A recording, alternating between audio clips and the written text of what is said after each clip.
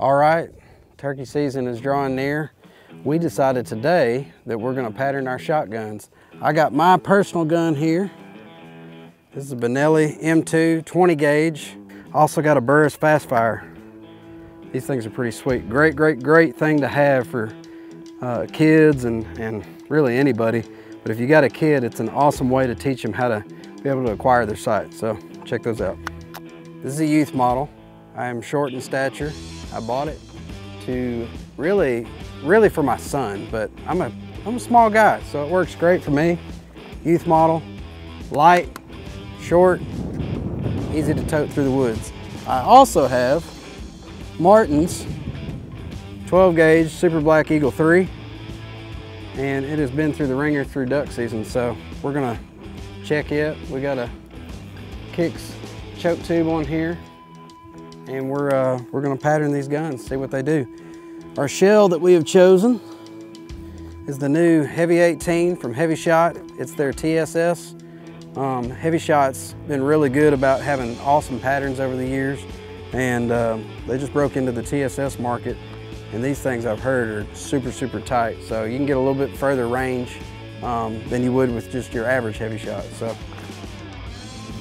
first up, three inch number sevens, ounce and a half. See how they pattern. Fire in the hole, plug your ears.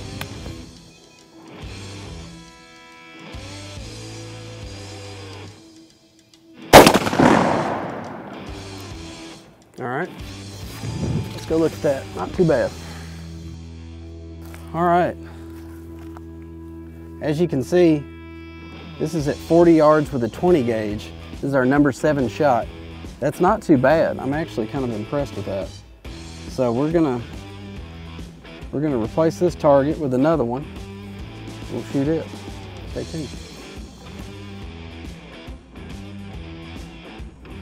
All right. On to the nines. The sevens weren't too bad. I'd hunt with that. But I've been really excited about trying out these nines. I've heard a lot of good things about the nines and these Benellis. So let's try that out. Ready? Yep.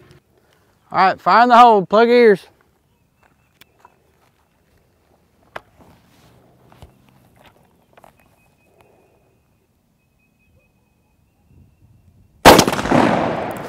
Oh my land. You gotta be kidding me. Y'all come look at this. This is unreal. Now, if that ain't a confidence booster, I don't know what is. I was aiming here, hit a little high, that's okay. I like to sight mine in just shooting just a little bit high. So if I aim it as wattles, it's got all over the neck and the head. With our concentration right here in the 10 ring is unbelievable. And that's really awesome for a 20 gauge too. All right, shot our 20 gauge, it looks awesome. The sevens and the nines both performed wonderfully. Uh, I do like the nines a little bit better in my personal opinion. But now we're gonna check Martin's gun. Try out the sevens first. Hevi-Shot also makes a three and a half inch in these. Threes do just fine. Not trying to shoot them out crazy. Glasses on. Fire in the hole. Well, a big old gun, look at that. Gotta move it just a little bit.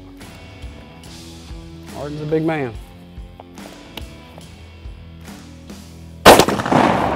Not a living. That is a pattern. Little left, wouldn't worry about that. That could have been me. Man, that's tight. Let's go look at this one. That pattern looks awesome. Number sevens in the 12 gauge.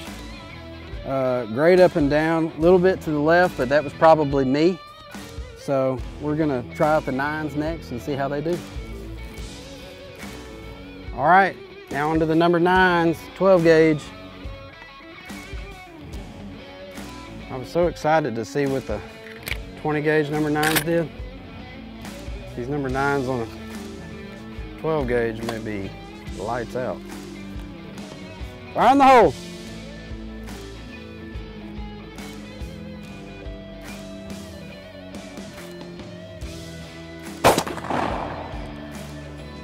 Wow.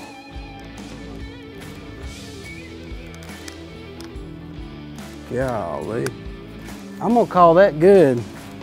Because not only did we get a good pattern, but it blew straight through this cardboard box at 40 yards. Well guys, I think for my setup and Martin's setup, the Hevi-Shot, Heavy 18 number nines did the best. What do you think did the best? Drop us a comment, subscribe, let us know what you think. You want to see more videos like this? I don't know. It's turkey season. I'm ready to kill some turkeys. How about you? Talk to us, let us know. Y'all have a good day.